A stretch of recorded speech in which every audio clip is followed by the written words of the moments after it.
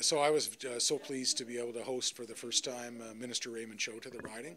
Uh, we're glad to be here at Kemptville District Home Support. Uh, uh, he was able to uh, go to the Diners Club and have a great lunch and meet a number of seniors, meet the staff and a number of the volunteers, and then have a seniors roundtable as part of our government's senior strategy. Obviously, for residents here who don't necessarily always get that chance to talk to their provincial government, when ministers are able to come, it makes it an enormous difference. We're able to show them small town, uh, you know, rural life. Uh, so when Minister Cho uh, decided to come here, we were really excited to be able to give him a flavor what, what what it means to be a senior in this community. I met so many wonderful people today, and I, I heard that the seniors and the expertise are working for the seniors and uh, they expressed a lot of concern and good ideas such as this elder abuse, social isolation of seniors,